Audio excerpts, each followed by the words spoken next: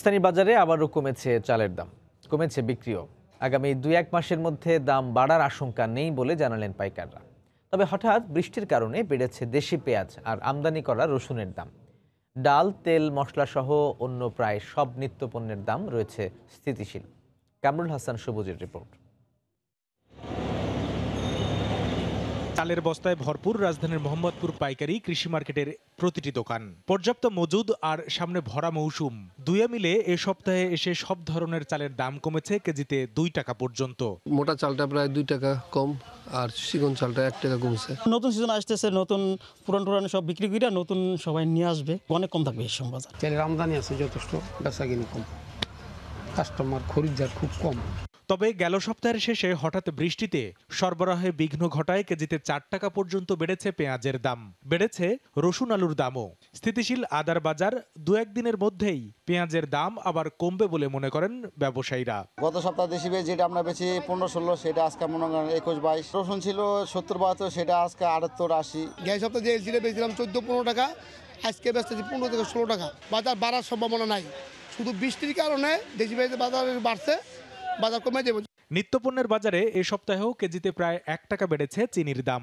কোনো পরিবর্তন আসেনি ডাল তেল সহ অন্য পণ্যের বাজার দরে। চিনি আজকে বিক্রি করলাম চব্বিশশো বিশ থেকে তিরিশ টাকা বস্তা। গত সপ্তাহে একটু কম ছিল যেমন তেইশশো আশি নব্বই এরকম ছিল। ছোলার দাম কেজিতে দুই তিন টাকা কমে গেছে। ডাল ডুল সব আগের মধ্যে আছে। দেশি চুয়াত্তর পঁচাত্তর আর মোটাটা মানে বোল্ডার ছেচল্লিশ থেকে পঞ্চাশ মশলা জাতীয় পণ্যের মধ্যে এলাচের দাম বেড়েছে কেজিতে চল্লিশ থেকে পঞ্চাশ টাকা। জিরা, দারুচিনি, লবঙ্গ, গোলমরিচ সহ অন্যগুলো বিক্রি হচ্ছে আগের দামেই। কামরুল হাসান সবুজ, সময় সংবাদ, ঢাকা। দেশের সবচেয়ে বড় পাইকারি বাজার চট্টগ্রামের খাতুনগঞ্জে চলছে সব ধরনের ভোগ্য ভোগ্যপণ্যের বেচাকেনা। এই মুহূর্তে সেখানে আছেন রিপোর্টার কমল দে, যাচ্ছি তার কাছে। কমল। ধন্যবাদ, রাজু। সপ্তাহের শুরুতে জমজমাট হয়ে উঠেছে দেশের সবচেয়ে বড় ভোগ্যপণ্যের বাজার, চট্টগ্রামের খাতুনগঞ্জ, আসাদগঞ্জ, পুরো এলাকাটি। এখানে দেখেছি বিভিন্ন স্থলবন্দর দিয়ে আমদানি করা ভোগ্যপণ্য ইতিমধ্যে কিন্তু ট্রাক কাভার ভ্যান সহ বিভিন্ন যানবাহন যুগে এখন খাতুনগঞ্জে চলে আসছে। বিশেষ করে সকাল থেকে আসতে শুরু করে এবং এখনও আসছে এবং সেই আসাটা চলবে কিন্তু রাত পর্যন্ত। তো এখানে কিন্তু এবার ভোগ্যপণ্যের দামের ক্ষেত্রে একটু কথা বলি আমি। কিন্তু যে গত কয়েক সপ্তাহ ধরে যে ভোগ্যপণ্যের দাম বাড়ছিল সেটি এখন কিছুটা নিয়ন্ত্রণে ফিরতে শুরু করেছে। বিশেষ করে চিনি ছাড়া অন্যান্য যেসব ভোগ্যপণ্য রয়েছে সব কিছুরই দাম তুলনামূলকভাবে কমেছে। আর বিশেষ করে আপনারা জানান যে জানুয়ারি মাসের শুরু থেকে যে তেলের দাম বাড়ছিল, গত সপ্তাহে সব ধরনের সোয়াবিন, পাম এবং সুপার পামের দাম কমেছে এবং এই সপ্তাহে সেটা অব্যাহত রয়েছে। এই সপ্তাহে প্রতি মনে ভোজ্য তেলের দাম কমেছে মন প্রতি বিশ থেকে তিরিশ টাকা পর্যন্ত। আর একটা বিষয় হলো ডালের দামের ক্ষেত্রে আসে, যেহেতু এখনও শীতকালীন সবজি বাজারে রয়ে গেছে, সে কারণে কিন্তু প্রতি কেজি ডালের দাম কমেছে এক থেকে দু টাকা। বিশেষ করে মসুর ডাল গত সপ্তাহে বিক্রি হয়েছিল বাহাত্তর টাকা, আজকে বিক্রি হচ্ছে একাত্তর টাকা। যেটা তো ছোলার ডাল গত সপ্তাহে বিক্রি হয়েছিল বাহাত্তর টাকা এই সপ্তাহে বিক্রি হচ্ছে উনসত্তর টাকা করে। এবং কমেছে কিন্তু আদা, রসুন, পেঁয়াজের দামও।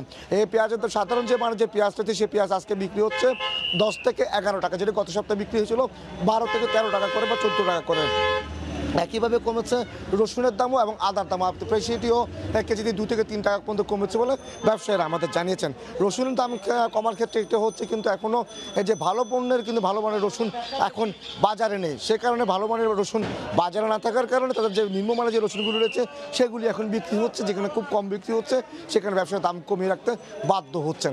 এবার চিনির দামের ক্ষেত্রে আসি। চিনির দাম কিন্তু আপনারা জানেন যে হ্যাঁ, গত মাস দুয়েক ধরে চিনির দাম বাড়ছিল বিভিন্ন কারণেই। সে চিনির দাম বাড়ার দাম বাড়ার বিষয়টি এই সপ্তাহে এসে অব্যাহত রয়েছে। গত সপ্তাহে আমরা দেখেছি প্রতিমন চিনি বিক্রি হয়েছে সতেরোশো পঞ্চাশ টাকা করে, আজকে সেই চিনি বিক্রি হচ্ছে সতেরোশো সত্তর টাকা ধরে। তাতে প্রতিমনে এখনও বিশ টাকা ধরে বেড়েছে। চিনির দাম নিয়ন্ত্রণে আসতে পারে, এক্ষেত্রে যদি মিল মালিকরা যদি চিনির দাম তাড়াতাড়ি সরবরাহ করতে পারে, তাহলে হয়তো চিনির দাম কমে আসবে বলে ব্যবসায়ীরা আমাদেরকে জানিয়েছে। তারা জানিয়েছেন চিনির দাম আগে তারা যেটি দিনের চিনি পেতে থেকে তিন দিন লাগতো, সেটি এখন একটু বেশি লাগছে, চার থেকে পাঁচ দিন লাগছে। এবং সরবরাহ কিছুটা ঘাটতি তেমন নয় কিন্তু সরবরাহ দেরি হওয়ার কারণে চিনির দাম বাড়ছে বলে ব্যবসায়ীরা আমাদেরকে জানিয়েছেন। আপনারা জানেন যে দেশের সব দেশের পুরো ভোগ্যপণ্যের বাজারটি আমদানি নির্ভর। বিদেশ থেকে আমদানি করে দেশের চাহিদা মেটানো হয়, যে কারণে আন্তর্জাতিক বাজার যদি বুকিং রেট বাড়ে বা ডলারের দাম উঠানামা করে, তার পুরো প্রতিক্রিয়াটা এসে পড়ে পাইকারি বাজারে। এবারও ঠিক তেমন হচ্ছে যেমন গত কয়েক সপ্তাহ ধরে ডলারের দাম যেমন বেড়েছে, তেমনি বুকিং রেটে বেড়েছিল। তার অজুহাতে পণ্যের দাম বাড়ছে, তবে এখন আন্তর্জাতিক বাজারে বুকিং রেট কমে আসায় পণ্যের দাম কমছে বলে জানিয়েছেন ব্যবসায়ীরা। তো রাজি এখন পর্যন্ত আমার কাছে ছিল, সপ্তাহের শুরুতে চট্টগ্রামে যে খাতুনগঞ্জ জমতে শুরু করছে পুরোপুরি, তার সর্বশেষ। দেশের সবচেয়ে বড় পাইকারি বাজার চট্টগ্রামের খাতুনগঞ্জ থেকে ভোগ্যপণ্যের বেচা কেনার খবর জানাচ্ছিলেন সহকর্মী কমল।